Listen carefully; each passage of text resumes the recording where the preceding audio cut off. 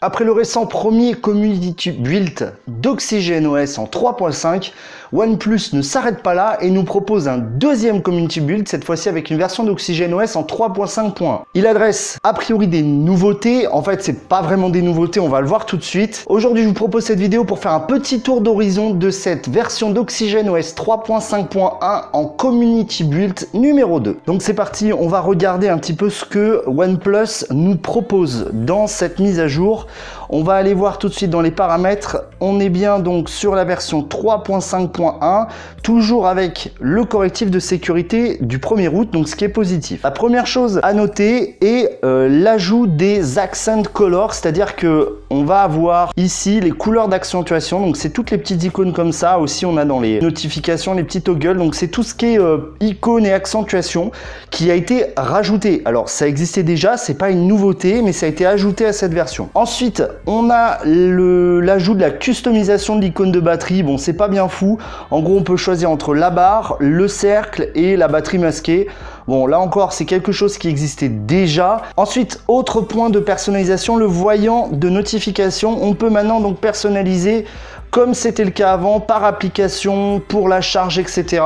Là encore, c'est une fonction qui existait déjà, mais qui a été implémentée à nouveau dans cette ROM. D'un point de vue gros, grosse nouveauté, enfin grosse nouveauté qui existait déjà, mais c'est l'ajout de plusieurs screen modes. Donc, ce qui se passe, c'est qu'aujourd'hui, on a le mode défaut, donc qui est, on va dire, classiquement la molette. On a le mode sRGB, d'accord et ensuite, on a customisation, on peut régler plus ou moins chaud. Donc là, c'est vraiment pas mal. OnePlus a, décidé de l'implémenter directement, ce mode sRGB, dans les modes d'affichage, ce qui paraît finalement le plus logique et c'est plus fonctionnel que dans les réglages développeurs. On note aussi la réapparition du mode nuit, euh, donc avec euh, voilà, qui permet d'éviter de se niquer les yeux la nuit. Par contre, le toggle qui existait n'existe plus, on peut pas l'ajouter. Hein. Donc ça, c'est un petit point à noter. Je pense que ça arrivera euh, dans la prochaine mise à jour, peut-être dans la version définitive. Enfin, pour finir, vous l'avez constaté, le thème dark a été légèrement optimisé. le thème sombre a été légèrement optimisé. On a plus de noir, les noirs sont plus profonds. Alors, il faudrait les deux pour le comparer vraiment, mais globalement, ça a été plus optimisé et on le voit euh, un peu plus partout.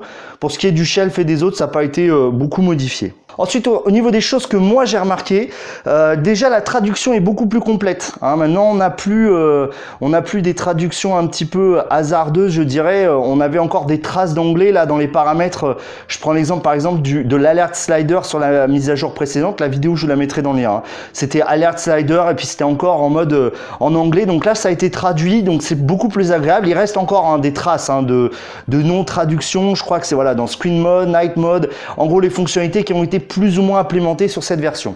Un truc par contre encore énervant au niveau des bugs que j'ai remarqué, c'est euh, la petite icône de euh, paramètres rapides qui est assez énervante à appuyer puisqu'il faut vraiment euh, appuyer dessus franchement.